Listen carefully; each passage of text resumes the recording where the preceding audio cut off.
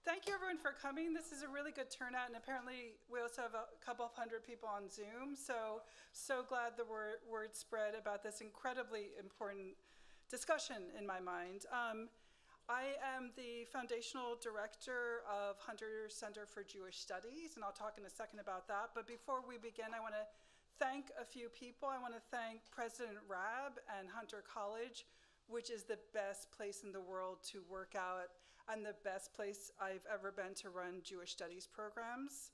Um, I want to thank Harold Holzer and the Roosevelt House for helping co-sponsor this. And in particular, I want to thank our heroic and fabulous participants for joining us today. We're so lucky to have them with us. And just very briefly, the Center for Jewish Studies, um, which started about five years ago, is an interdisciplinary program where we run lots of courses in a range of departments, ranging from Israel to anti-Semitism to the Holocaust to Bible.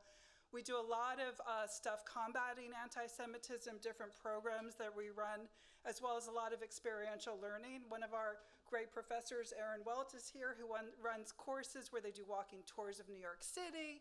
And we have Bruce Rubin, who teaches classes on anti-Semitism. Um, so it's a really great place to be, and some of our students are here today too, which is wonderful.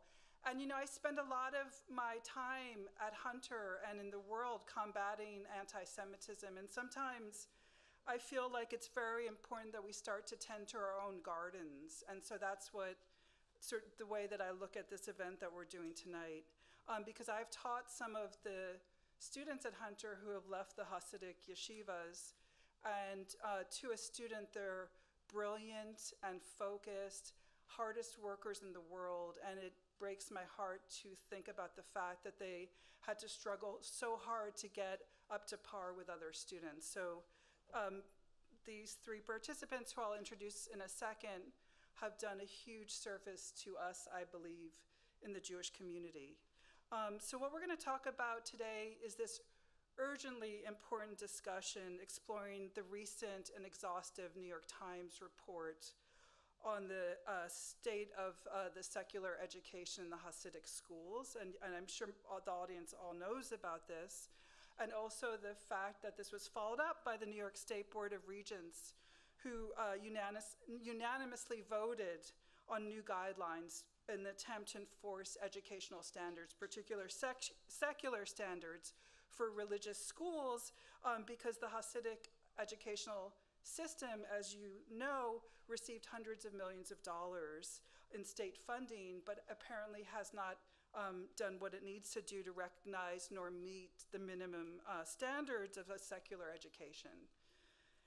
And um, the three top figures in the field who are here with us have all personally experienced what it meant to be involved in the school system and also have taken it upon as sort of a life mission uh, to fight for better standards for our Jewish children as well. So the way the format's going to work is I'm going to briefly introduce our three speakers. They'll each come up. Um, and then I will field some questions to them that, that we came up together as a group. And then we're going to open it up to questions from the audience for the last 15 minutes or so as well. And they're each going to start with a short statement, five to eight minutes, about their own experiences um, going through these schools. So first we have uh, the great Beatrice Weber who's going to come up. And she's a motivational speaker, author, and activist, and the current executive uh, director of YAFFED, Young Advocates for Fair Education, a nonprofit advocacy group working to improve secular education in ultra-Orthodox and Hasidic yeshivas in New York and abroad. She was raised in the Hasidic community, married to a rabbi in an arranged marriage uh, before graduating high school. Despite opposition from her community and her own family, the Orthodox Rebbetzin left her marriage several years ago and now lives with her two youngest of 10 children. Um, she holds an M MBA, and she filed a 2019 lawsuit against her young son's yeshiva and the New York City Department of Education, arguing he was not being given adequate schooling. So, I mean, we're going to meet some true Jewish heroes, and this is one of ours today. Um, next is Naftali Moster, um, and he was featured in the New York Times report. Has been a huge engine pushing forward uh, raising the secular standards.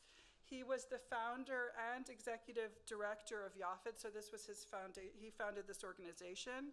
Uh, he was raised in a large Hasidic family of 17 in Borough Park, attended Hasidic yeshiv- yeshivas, um, but left the community when he realized that he had had an inadequate secular education. He went on to earn a CUNY BA and then a master's in social work from Hunter, so yay. Hunter Silverman School of Social Work. And Hunter has a lot of connection with these uh, people who went through our fabulous uh, system. And our third uh, speaker is Zalman Newfield, who grew up in Crown Heights and studied at uh, Lubavitcher yeshivas until he was 21, where he was taught no secular subjects. In the next decade and a half, he earned a, earned a GED, a BA in psychology from Brooklyn College, and a PhD in sociology from NYU. So fabulous. Um, he's an assistant professor now of sociology at CUNY's Borough of Manhattan Community College and the author of the widely praised 2020 book, Degrees of Separation Identity Formation While Leaving Ultra Orthodox Judaism. Um, and he's also the host of the New Books Network podcast. So these are our speakers.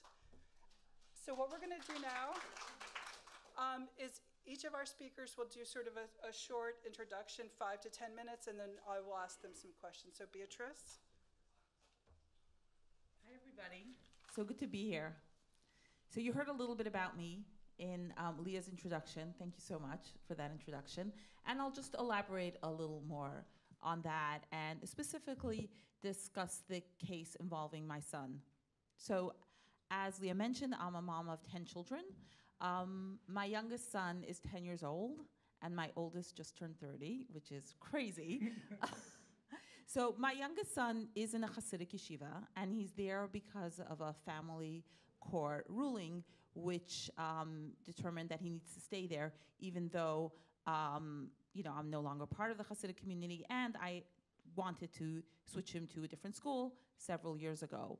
Um, in 2019, I filed a complaint against um, the yeshiva and the city and eventually the state for not providing him with an education when I realized that I couldn't change him, but change his schooling, but he deserved better. You know, I myself never graduated high school, though, um, interestingly enough, the girls do get a little bit of a better education, and most of what we're going to be focusing on tonight is about the boys' education. But I didn't graduate high school. But I soon realized through my own life's journey that going to college as an adult and eventually graduating with my MBA gave me so many choices and so much power. I didn't want to deny my youngest son that opportunity, even though my older children um, did not get that opportunity and really struggled as they got older um, in, in getting jobs or even considering going to college. So I am in awe of these um, men who did that because it's it's quite a, a, a journey to to really start from scratch. You know, really starting from teaching yourself the basics of grammar, writing an essay, learning the basics of science, things that we take so for granted. Um, I'm happy to say that in regards to my son, the complaint I filed against my son, finally, after three years, on, Oct- on October 6th, um, the um, Commissioner of Education of the state of New York determined that his school was not providing him with an education, and which is a big deal. The first time this has ever happened in New York State. Finally, uh, a um, determination was made, an investigation was completed. Yaffed filed, uh, which Naftali might talk about, filed a complaint in 2015. It was has not been completed as of today, seven years later. That complaint was completed because we managed to get it in front of a judge who insisted that it be completed. So now the next step is following up and make sure, making sure that that change actually happens for my son and for, for the hundreds of classmates and thousands of his peers across the city.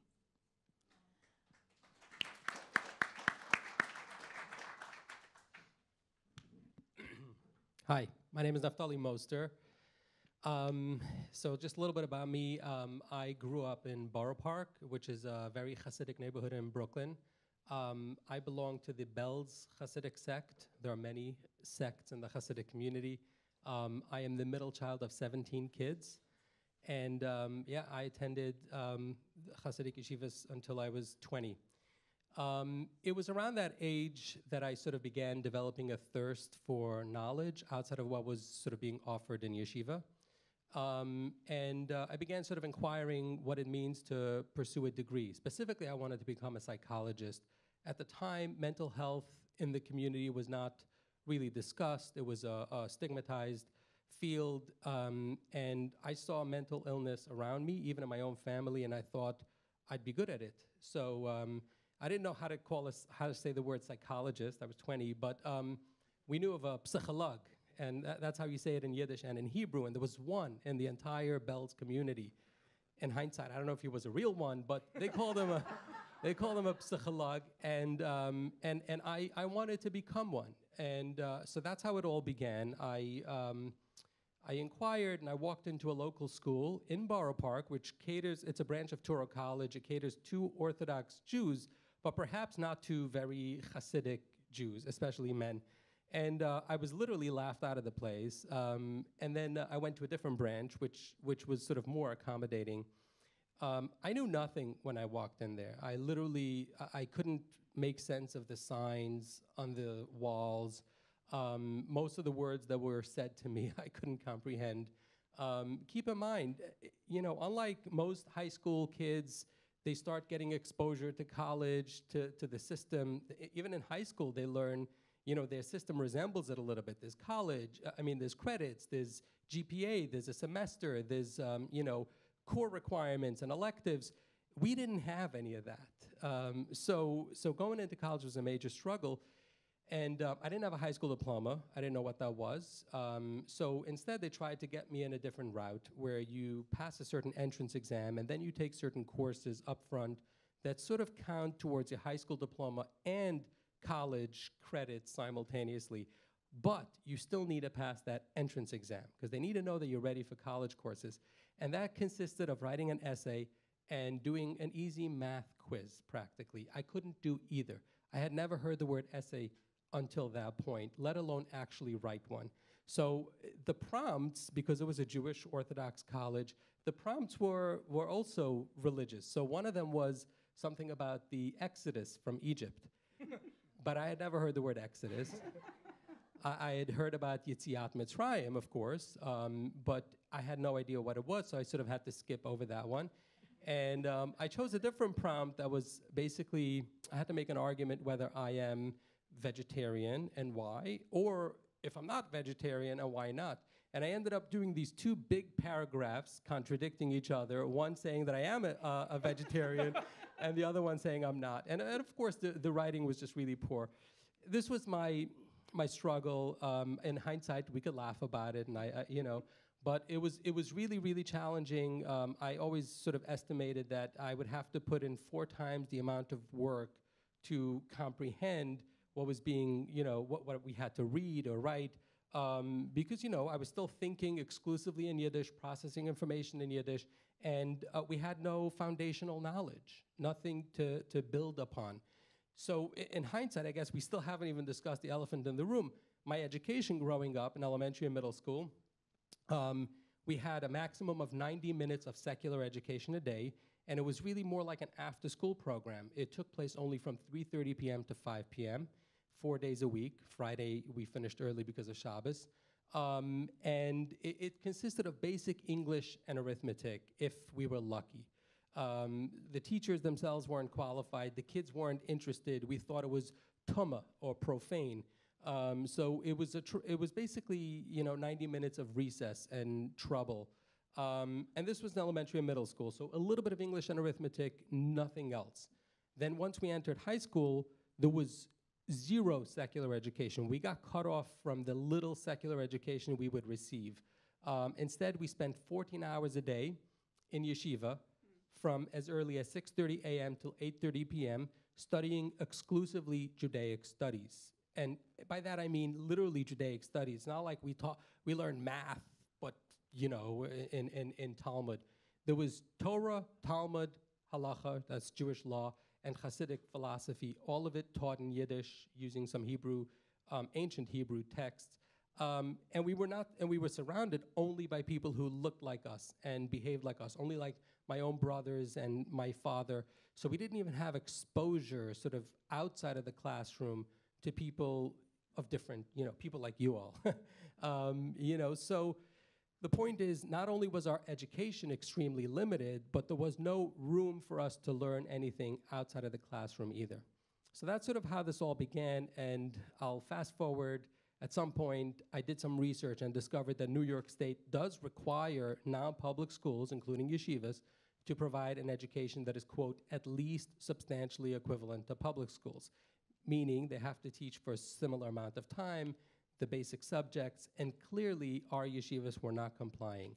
And that's when I formed Yaffed, and uh, I guess we'll talk more as we go.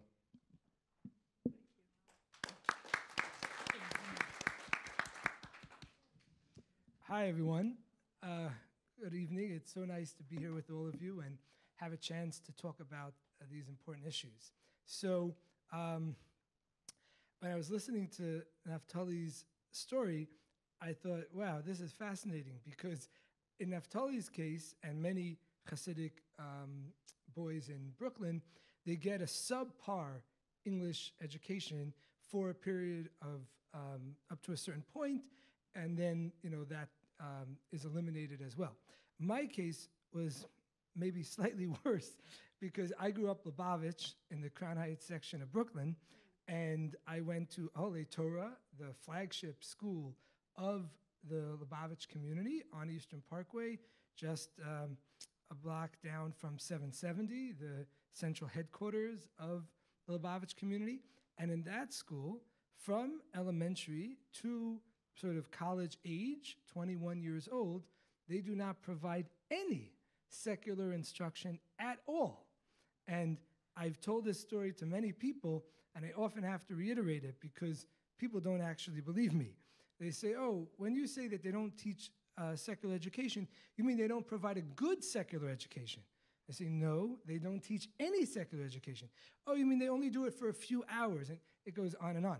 But this is the uh, honest truth. We did not learn the ABCs. We did not learn 2 plus 2 is 4. We did not learn anything um, related to secular studies from the kindergarten age till when you graduated the entire system. Um, and uh, I just want to mention that um, uh, when a friend of mine who's Lubavitch, when I told him that I'm going to be on this panel tonight, he says, Zalman, you're going to ruin the whole thing, you know?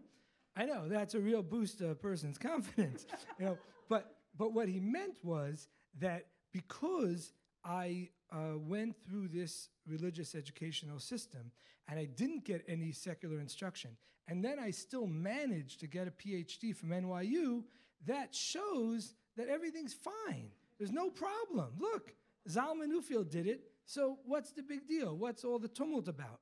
And I think this is a, a deeply, deeply misguided understanding of the situation.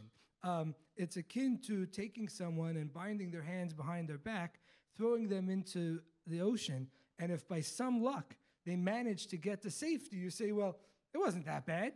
You did okay. You got out. You're fine, you know? And it completely ignores all of the trauma and stress and anxiety that a person has to endure in order to get to where they were trying to go. Um, and also, I was just reminded when you're talking about um, lacking basic pieces of secular knowledge at, at certain points in your life. I remember after I went to Brooklyn College, uh, and got my BA in psychology. And then at that point, I thought maybe I would be a clinical psychologist. So I was preparing to sit for the GRE to uh, get into graduate school. And I went, uh, I made the date, I went to the GRE uh, testing center, I showed them my driver's license, and then the woman handed me this form and it basically had a paragraph that you needed to write, according to her, in script. And you needed to say that you promise not to uh, cheat on the exam and so on. And at that point, I was in my mid 20s. I had finished my uh, bachelor's degree, I had done very well as an undergrad, and there was just a simple task to do to write one paragraph in cursive English. And I looked at her and I said, I can't do it. I can't write in script. I could write in print. And she says, Well, no, you have to write in script in order to take the exam. And I started to cry. I was like, there were months and months that I was preparing for this exam. There were years that I was uh, going to school in order to get to this point where I could take the GRE and go and get a graduate degree. And there was this one tiny stumbling block that essentially harkened back to my lack of secular education when I was in second grade or third grade when I would have learned this skill. So I kind of looked at her and she looked at me, and it was obvious that neither of us you know, were going to budge. and then eventually she said, Well, you, you could write it in print, but try to connect the letters. I have a PhD now. I'm still not sure what that means, but I did whatever I could, and then I kind of sheepishly handed her back uh, the form, and she said, "Okay, you know, go along." And I took the GRE, and and you know now we're here. But the point is that it, it's really important to to um, not gainsay the the challenges that are involved um, in trying to have a career, trying to uh, create a life for oneself if you're denied the basic secular education from a young age. And if I have one more minute, I just want to um, make one other point that um, often I think when we talk about when, when the issue of uh, the lack of secular education in, in the Hasidic schools comes up, uh, you often hear um, defenders of this school system try to uh, find fault in the people who are raising the issue. And essentially becomes a game about who is the proper person to raise this, this issue. And uh, basically, defenders of this uh, Hasidic school system tend to try to shoot down the messenger because they don't have an answer for the message. They can't actually uh, argue the, the issue on the merits of the, the message itself, so they kind of try to find fault in the person who's delivering the message. And I think it's important to realize that this is a, a really manipulative and, and deceitful practice. And um, the truth is, if you think about it from the perspective of the, the, the, defenders of the Hasidic schools, it's sort of like a catch 22. Because if someone is a member of the Hasidic community and raises the issue of the lack of secular education, they're told, well, if you don't like it, you could leave the school. If you don't like it, you could leave the community. Well, if someone takes their advice and leaves the school and leaves the community and then raises the issue, you're told, hey, you're an outsider. You really have no standing to raise this issue. So it turns out that according to the defenders of the Hasidic community, there isn't a person alive who is actually in a position to critique this system. Well, obviously, on its face, this is a, a, a flawed logic. Uh, we'll leave it there for now. Thank you. And, you know, I probably have done 40 or 50 events in my time for Jewish studies, and I have to say, this is the most interesting discussion, and I'm, I'm just, it's so illuminating, so thank you. Um, I'm going to do questions that we came up with as a group now. Um, the first question is going to bring in two questions, so ans answer whichever one you want or however you want to answer them. Um, it's a double question. Why do Hasidic communities resist teaching secular education? And also, if you put yourself back in time to when you were in the yeshivas, how did you feel about the fact that you were not getting the secular education? For whoever, or if all of you want to answer that.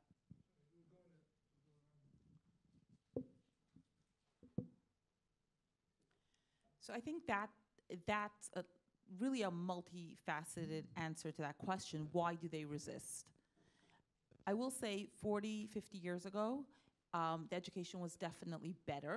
It wasn't great, far from great, but it was definitely better. There used to be a public school teachers that would come in at the end of the day. Um, there's a family story that Um, my uncle, who actually went to the same school that my son is in now, his teacher thought that he was very bright and went over to my grandfather and said, You know, I think your son should go to college. Of course, that idea was shut down, but just the concept that that was something that a teacher did would be like absolutely unheard of today. The teachers that my son has can barely speak English, okay?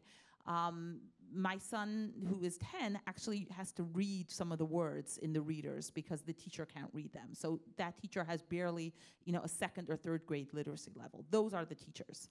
Um, I- think it stems a lot from the insularity, the idea that we want to be separate, we want to be different, which is uh, really uh, the height of this issue is really, you know, in Brooklyn stems from people who came here after the Holocaust, where that staying together, staying within your community became such a strong objective. Um, and also, nobody really checked in.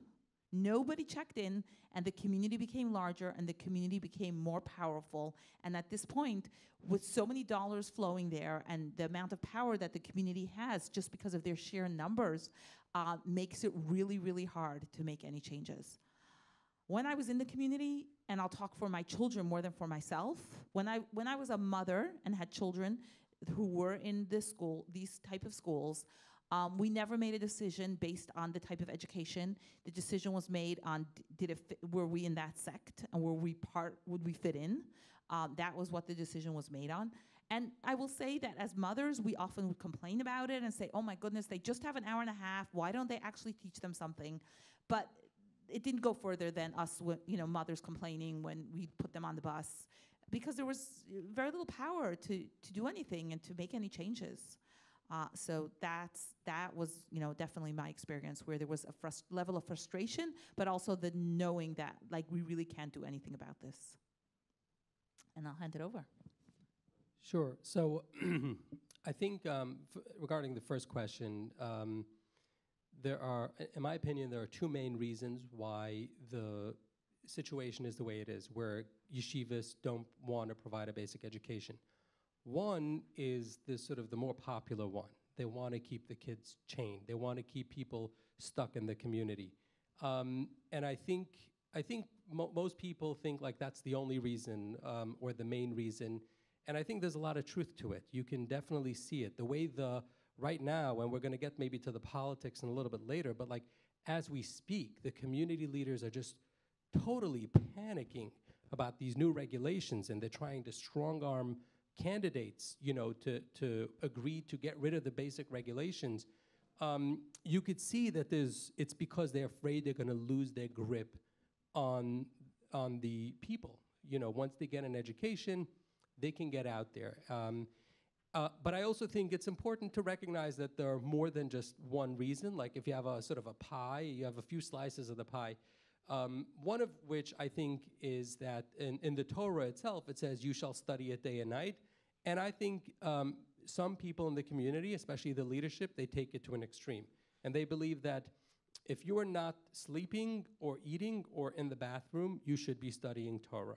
So to them, 90 minutes of secular education a day, um, elementary and middle school, is already a sacrifice.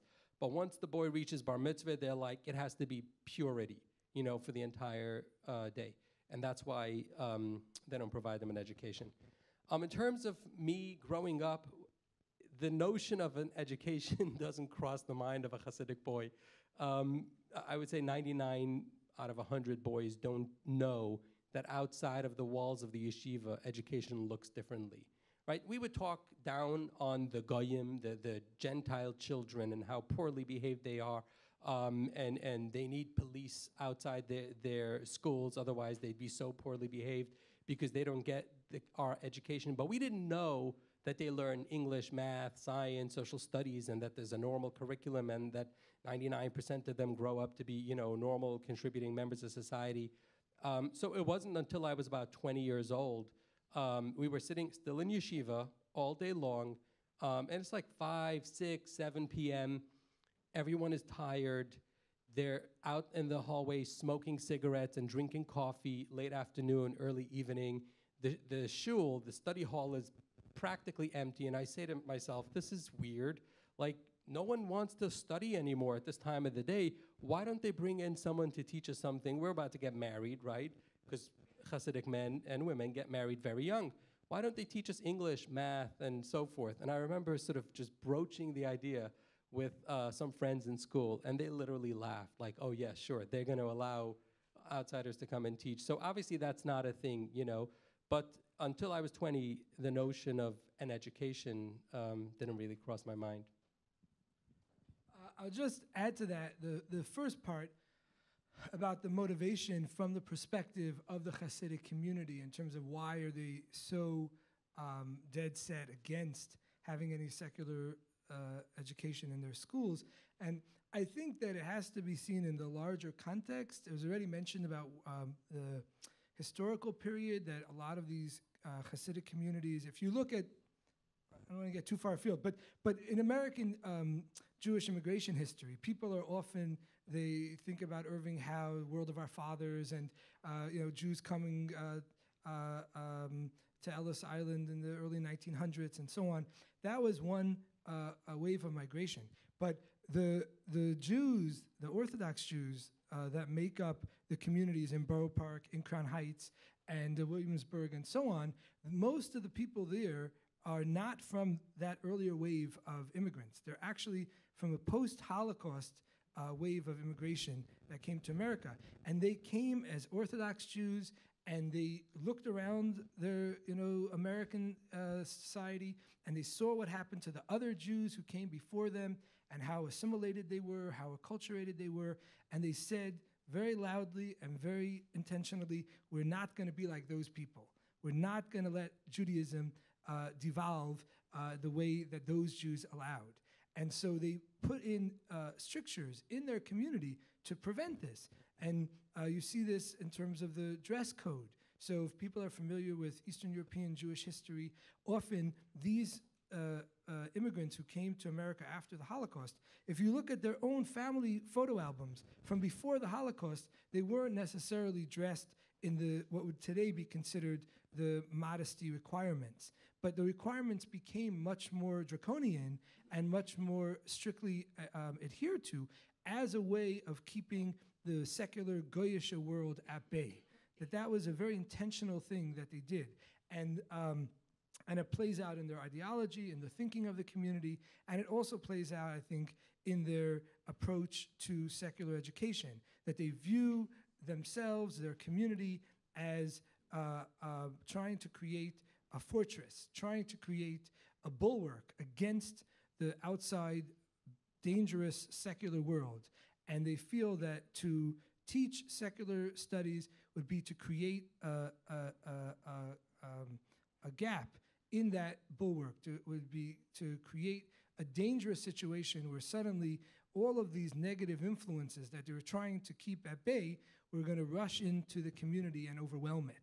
So I think it's very much tied to the kind of ideology, philosophy of these communities, and it's not, in other words, a kind of peripheral thing. This is central to um, the way that the communities see themselves and what they see as vital for their um, existential uh, you know, needs.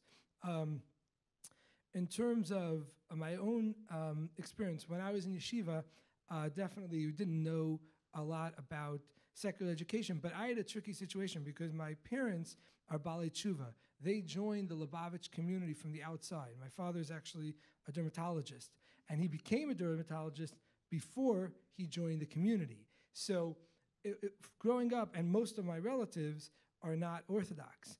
Uh, we're not Orthodox and are not Orthodox. So, from a young age, I knew that there were people who were not Orthodox, and I knew that they had some kind of different educational background from my own. But the, the funny thing was, I remember at family uh, gatherings, people would come over to me when I was a little kid, five, seven years old, say, "Oh, a little boy, you know, do you want to be a doctor like your father?" Are you crazy? I can't even read English. I don't even know the ABCs. How in the world am I going to become a doctor? I mean, it, it, seemed so absurd to me, you know. And I remember um, at one point uh, I went to yeshiva in South Beach, Florida. I have no idea why Lubavitch decided that South Miami Beach uh, would be a good place to house a yeshiva, but they did, and I went there. We were like six blocks away from the beach, and I remember sitting in the study hall one night, late at night, and surrounded by the pink pastel uh, tiles in the in the study hall.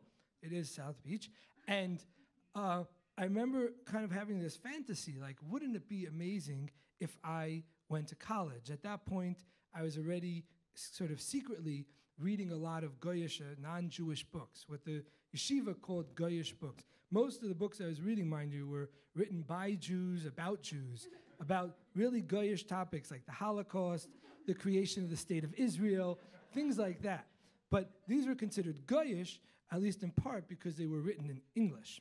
Um, and these, this was a very big uh, no-no to, to read these books. I remember, incidentally, uh, at one point I heard that one of my friends had one book, and he was caught with this book. Now, this book was particularly bad book. It was a biology textbook, and it had two subjects that were forbidden. It talked about sex and evolution. So obviously, this was terrible. Uh, but I remember he almost got kicked out of the yeshiva for this one book. And I remember panicking at the time because I had a private stash of about 100 books that I had you know, st- stashed all around my, my dormitory. And I thought, if you could get kicked out of yeshiva for one book, what happens if they find the mother lode? You know, so this was of great concern to me. But anyway, I was already doing all this reading, and I remember thinking, wow, wouldn't it be so wonderful if I could go to college? There would be professors there, and they would teach me all of these things, and I'd be able to interact with them and ask questions, not just like with the books. They're wonderful, but you can't really ask questions to the book. Um, and then I kind of laughed to myself, like, well, of course, I can't actually do that. It's forbidden to go to college, and I'll never be able to get into college anyway. You'd probably have to write an essay or something. Again, I'd never written an essay in my life, in any language, by the way, not just in English. I had never written an essay in Hebrew or Yiddish either. Um, so, uh, so yeah, I just kind of pushed it out of my mind until a few years later when it became uh, more of a reality. Thank you. And the, the time is flying, so I'm going to ask one more uh, quick group question, then we'll open up to the audience. It's about the broader issue about what happened with the New York Board of Regents. Um, so if you could talk about the vote on the new guidelines, what you think about it, what you think should happen, what you think could happen, uh, where we should go to make this uh, world better for these students. I'll say Naftali, you take that? sure. I, I mean, I have a lot to say, but I know, I know you have even more to say. And he, he worked 10 years to get those, uh, um, th- to get that vote to happen. And Naftali, if you can actually talk also briefly about the work you did to get it to happen, since you're the pers- the primary engineer. Wow. Okay. There's a lot. Um, so basically, uh, like I don't know how many of you in the audience sort of know w- what happened. Um, so for years, it started off in in you know 2012, uh, you know 13. I, along with a small group of people, um, graduates, went to try to speak to um, education officials on the city level, on the state level, and at first they sort of sent us to, to each other, sort of like, you go, go to the city, oh, go to the state. And, you know, finally, that's when, that's when I formed YAFFED, and, um, and then we, we filed a complaint with the city in late uh, 2014, but um, they didn't do anything. Instead, when the media followed up with them, they said, well, they didn't name specific institutions, so how do we know where to begin investigating? I'm thinking, all of them. But, you know, so what we did then was we took a few months and collected specific signatures um, to complain about very specific institutions. So we came up with 39 in New York City, um, and we submitted that complaint in, in July of 2015. New York City said they're launching an investigation shortly after, but it became clear they're not really taking it seriously. And years later, we would find out that we were right. So, um, but it kind of was dragging out, and at some point we started lobbying the state. The, the New York State Education Department is, unlike other agencies, is not managed directly by the governor. It is um, overseen by the Board of Regents. And um, they agreed to look into it and to try to um, revise the guidelines that apply to all non-public schools. In other words, not just targeting specific yeshivas, but sort of broadly um, revising the guidelines to ensure that all schools have to comply with the law. So in 2018, they came out with one version of the guidelines. The yeshivas immediately filed a lawsuit. Unfortunately, they were joined by other non-public schools who, you know, feared intrusion in the independence and so forth. The guidelines were struck out. The state had to re-release them as regulations. In 2019, they released them as regulations, but then they let them lapse. So finally, um, last month, they, um, they had introduced new regulations in March of 2022. Um, there was a lot of sort of effort and lobbying and advocacy happening in the past, uh, the preceding years. In March of 2022, they released these new regulations, and then they voted on it um, this past month in September. Um, coincidentally or not, a few days before the vote, the New York Times came out with a, a, a massive um, expose. It took them two and a half years um, in the making, and obviously Yaffed was very instrumental in just providing um, background information, connecting them to yeshiva graduates and other sources who helped make the story a reality. Um, so I think that's that, right? And also what you want to see happen going forward, if you want to talk about that too. Yeah, yeah. I mean, uh, again, the fact that these um, regulations were passed is huge. To clarify, there is a hundred-year-old law in New York State that all children need to get an education. Right? This was passed um, over 100 years ago when uh, mandatory education came into play. And there was a question of can private schools exist? And, and the ruling was yes, they can exist, but they have to provide an education. So what was um, ruled on now was specifically how it should be implemented. It never was challenged. Nobody ever looked at okay, but what does it look like and how do we get there? So that this was this was a big step. It actually provides a process whereby each each um, area has to make sure that they have a list of the private schools because right now there's no accountability nobody even knows in each school district who are the private schools so if they don't even know who the private schools are how could they actually ensure that they're providing an education?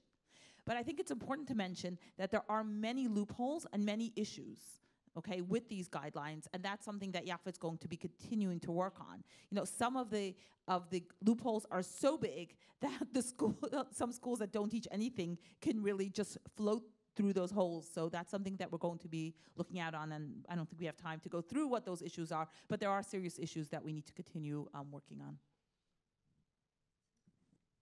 So we're going to open it up for a few minutes for questions. I have a bunch more questions, depends on how many questions we have. Um, and um, Malky is going to uh, give the audience uh, the time to ask questions. Hi. Um,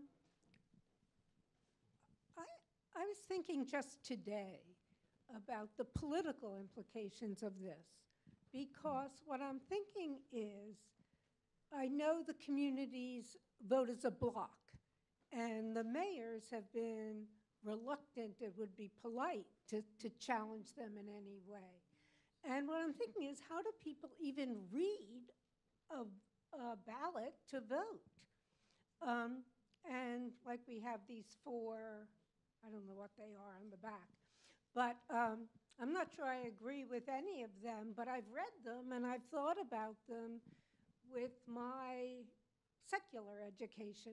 So I'd like to understand the political, and I think the political control and what happens to the money that gets given by the state and the city to the schools is a very large part of this. So Thank you. Um, yes. So the politics is uh, is huge. So I want to I want to respond. Uh, We have to be careful not to sort of caricaturize people from the community. Most people, even I, as a 20 year old, growing up with very little education, very little exposure to English speaking people, there's we, we could say sentences in English. Sometimes it's broken, but we could say it. If we had to go to a doctor and explain our symptoms, we needed our parents or, or our sisters. But there were certain things like you could read. And especially um, when it comes to voting, the community makes sure to train you how to vote. That's they send home they send home sample ballots. It shows you exactly who you should vote for. And for the weeks and months leading up to it, there's so much discussion, you know, about it. As we speak, I mean, my phone is blowing up with this stuff. Every few hours, another community leader comes out you know, um, endorsing a candidate. And as we speak, this is the hottest issue. It's kind of astonishing to me that most New Yorkers go, are going about their day not even realizing that potentially the thing that's going to decide the, the, who the governor of New York State is is going to be yeshiva education, because because people um, in the community are just furious that Governor Hochul allowed these regulations to pass without interfering and without calling them out and without going against the Board of Regents. And they're so furious at her that that's going to be one major reason, and they've said it in all their Yiddish language um, election materials, that therefore they are pushing for um, Lee Zeldin, right? So it's just, you know, people can make all kinds of decisions. We're not going to endorse anyone here, but it's, it is important for New Yorkers to understand that this is an issue that impacts them. People always used to be like, well, it's a community unto themselves. Who are we to tell them how to live their lives? No, no, no. They vote on issues that impact all of us, all, all of New York and everyone. So it is important for the rest of the state to feel like, you know, at least people should have an education, should know what they're voti- voting on. So, for instance, when you vote on an issue like um, the environment, like there was a, a question about plas- banning plastic bags, right? You can have an opinion about it, but if you don't know anything about science and about the, the atmosphere and the ozone layer or whatever, or how the oceans are being impacted by it, because you never ever learn anything about it, then and you then vote because you want to be able to go shopping for Shabbos and come home with 60 plastic bags, that's, that's a decision that impacts the rest of society. Um, and the same is true, obviously, with other issues. Thank you. Hi. Three quick questions. Number one. We're going to have to do one question each because the whole Uh, audience It's wants like to one ask word questions. answer. How many people are, are there? And um, not knowing math, how do you run businesses? And, and, you know, questions of, of, of that ilk. Those are the two questions, sorry. Numbers are a good question, and that's something we're looking at defining them. But it's between 60 and 100,000 boys, okay? Because girls is separate. Um, in terms of businesses, uh, very often people will have women working. And if any of you have interacted with a Hasidic um, business, often th- there'll be women who are the secretaries who are really helping. And again, some people figure out math and have calculators, you know, but there's definitely you'll have like women at the front lines a lot doing a lot of that administrative kind of work. Where and you'll have like kind of the man being the owner and the one kind of maneuvering things, but the one who's actually doing the technical work will be the women, who um, oftentimes are very very bright, and th- that's their only those are one of their only work opportunities, like working for somebody in the community. So with, with the education that's available, let's say to the boys, um, what jobs are available? Is there, what, what are, 100,000 kids growing up without education, what jobs are available? And also, what's the average socioeconomic status that I would see as a result of that? So I don't know if there's really a great data on the granular level of exactly um, you know how much money the average Hasidic household is making. There's a lot of problems with some of the data that does exist, like census data that shows that uh, Kiryas Joel in uh, um, Orange County is the poorest um, village in the America and things like that. And there certainly is poverty, but there's also issues about the reporting of income. So you know, there was also a story in the New York Times uh, about uh, the scandal related to the financial misconduct on the part of the yeshivas. There was a lot of pieces to it, but one of them was that the yeshivas were deliberately um, maneuvering the wages for their employees in order. So essentially, they were giving them part of their wages on the books and part of their wages off the books, so that those teachers could then um, uh, get subsidized housing, get um, food stamps, or whatever other government aid. And I, I know I, I I know a lot about this particular issue. I have a lot of relatives who work in the Crown Heights community. The ar- article was about Williamsburg, but there's very similar things happening in Crown Heights as well. So anyway, it's hard to know exactly what's going on, but we do know. I mean, there's basic national data about the correlation between education at- attainment and income. And the, the, the, the, the data is very, very clear.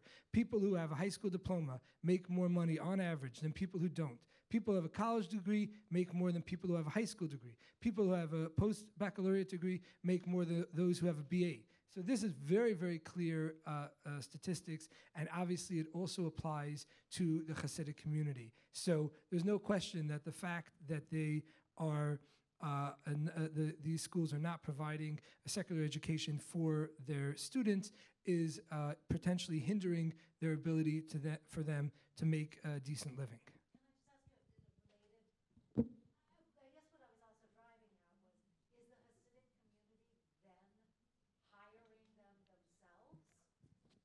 I'm going to repeat the question back because of Zoom. So the question was if the Hasidic community then is hiring them themselves. Right. So yes, there certainly are jobs within the Hasidic community. People are are teachers. People are are are mashgichim. They give the uh, kosher certification for food. Uh, they they you know do all kinds of jobs within the community. But it used to be well. Anyway, the, the point is that there's a limit to how much you could have jobs internally if there's no money coming into the community from the outside. And of course, there are some professionals, people who grew up with this limited or, or, or, complete lack of secular education and then sort of miraculously managed to get bachelor's degrees, become accountants and you know speech therapists and so on. But the, it's, it's very difficult to do that. Thank you. We know that there are yeshivas, day schools that do a great job in terms of secular education, the non Hasidic ones. Why are they supporting the Hasidic yeshivas now? Do you have any idea? I don't think it's necessarily true that they are supporting the Hasidic yeshivas. Rather, they're acting a little bit selfishly, or they did. Uh, maybe now it's not the case. But at some point, when the new guidelines came out in 2018, and then subsequently they turned into regulations in 2019, it was impacting all the non-public schools, as it should. Every every restaurant, even if they're a five-star restaurant, they have to undergo a review every year by the health inspect, you know, health inspector. So should non-public schools. But they've operated for so many decades, as Beatrice said earlier, without any oversight. So suddenly they're like, if they can fight against oversight, why wouldn't they, right? And and and you know, as for the Hasidic, you know, kids, you know, they be damned, you know. So it wasn't necessarily that they were defending the Hasidic yeshivas. Now there are some Litvish yeshivas. They're sort of ultra orthodox, but not Hasidic. They do tend to provide a better education. Um, and in general, they speak English at home. They tend to, you know, go to college. At least many of them. They for some reason, have come full on to the defense of the Hasidic yeshivas. Uh, it's mainly led by a group called Agudath Israel. It's a, it's a very powerful lobbying group. Um, and essentially, in my view, it's basically that they were, they were worried that they would essentially be um, go out of existence or, or not be necessary anymore since the Hasidic community is growing much faster and much more powerful, even by sheer numbers, as Beatrice said, and therefore, Agudath Israel, the Litvish um, lobbying group, came to their defense, and they've been working together all these years to ward off any uh, oversight. If I could just add one thing about this, um, my I just mentioned my father, who's very Lubavitch, very Orthodox, ultra Orthodox Jew. He actually wrote an article in the Jewish press, which is also very Orthodox, and uh, he supports, by the way, what the Hasidic yeshivas are doing. I want to be very clear even though he's a doctor, he supports what they're doing, and he has you know many grandchildren, male grandchildren, who are you know being deprived of a secular education. But the reason I mention his op-ed is because he said in the op-ed that the uh, you know speaking to to his own, so to speak, he said we should be honest about what we stand for. That now there's actually a real uh, uh, uh manipulative campaign, a real campaign of deception, where uh, um, less orthodox or less ultra orthodox schools that provide a solid secular education are pretending to support the Hasidic yeshivas that provide no secular education, and the Hasidic yeshivas in turn are saying, yeah, publicly, look, there's nothing wrong with our form of education. Look at all these schools that have children that go to Harvard. Those are not their students. This is like a, like a, a con game, like a, a, a, um, it's a it's a it's a bait and switch. They're talking about apples and oranges. And my father said, and this part I agree with, if you really support ideologically the complete uh, removal of secular education from your schools and from your community, at least have the conviction to stand up and say so. Don't play games and try to pretend that you do provide school uh, secular education. You don't provide secular education. If this is what you're committed to, be open, be public, and then try to defend that position without trying to to to mix um, uh, apples and oranges here. Thank you. So Given what we know from the reporting about the misuse of funding to support this system of education, have you given any thought to what could be a more appropriate and sustainable system of funding to support uh, an educational system with higher standards? The, the problem with the funding issue is there, there may have been particular laws, you know, and procedures that were violated, but the real issue is that the way that the Hasidic uh, community operates and the number of children that they have and the, the limited jobs that are available to them because of their lack of secular education, it's simply not possible for them to fund their schools by themselves. It just can't be done. The math will not sustain it. So they have to get the money from somewhere. And I was recently in Crown Heights after that story broke, and people said, Well, what do you want?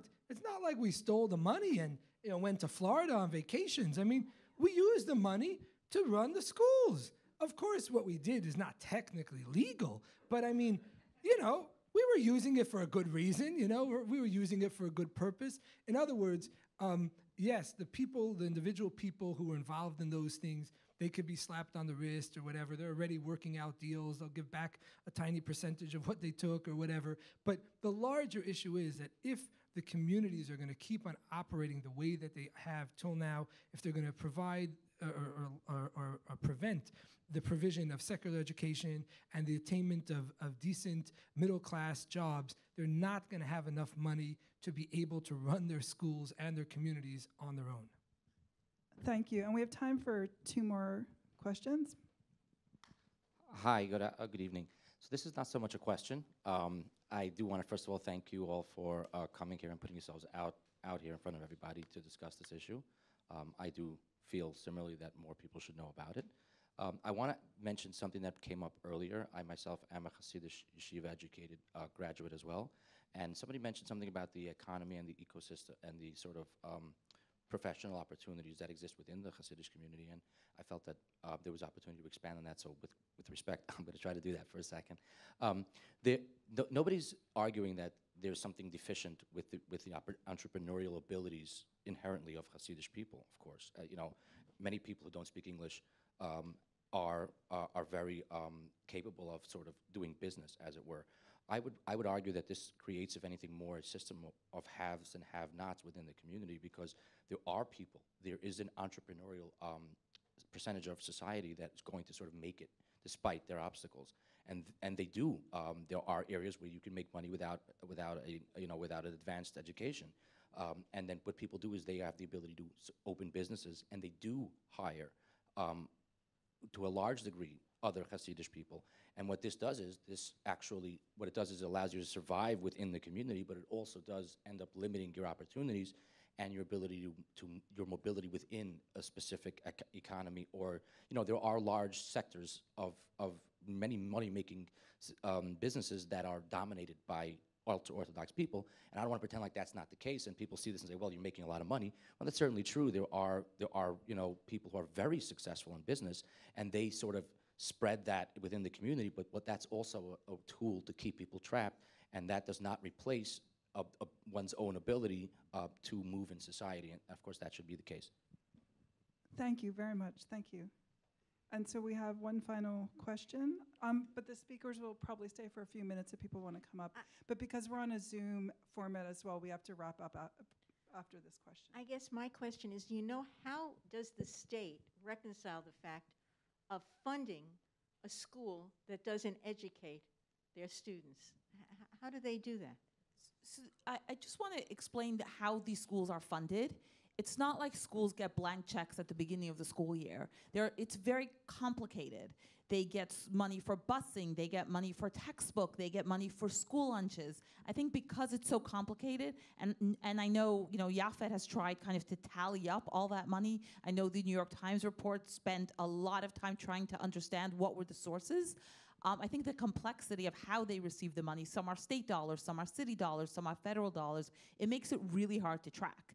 And, and none of the money is actually given uh, for direct, um, you know, Judaic education. It's for a, lot of the wraparound services, and it's hard to track.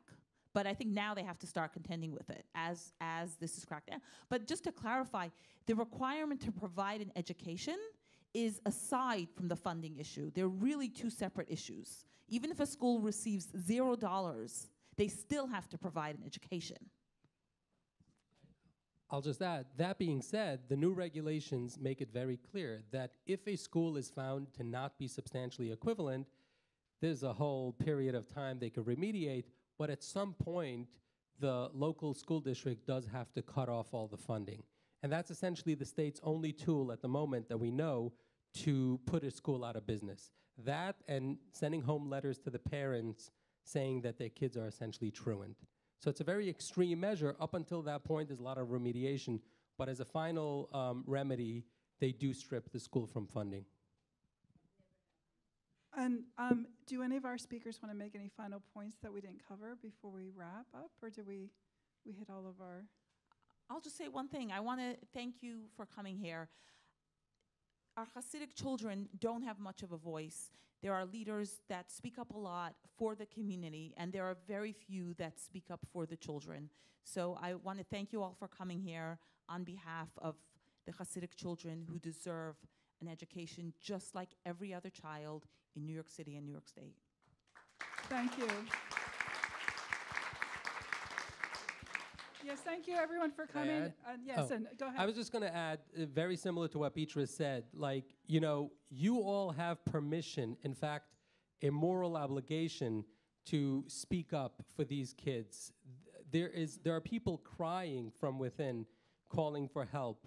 We at Yaffed have always gotten these kinds of um, tips and calls um, from people, and we can't do it alone. We can't go up against the tremendous, um, you know, the black vote and the power structure, um, years, decades, and decades of lobbying and, and cultivation that our opponents have been doing, and they're now cashing in on, right? There's no way a small organization like Yaffed and a handful of activists can do it ourselves. We need people from the broader public to join forces and use your power both as a voter, as a, as a donor, um, you know, as, as an academic, and, and so forth, to spread the word and to make sure New Yorkers take action to once and for all uh, resolve this issue. And just one final point, um, as the director of Jewish studies, I feel emphatically the best thing we can do for Jewish studies is to educate well our children. So thank you everyone for coming um, and joining us tonight.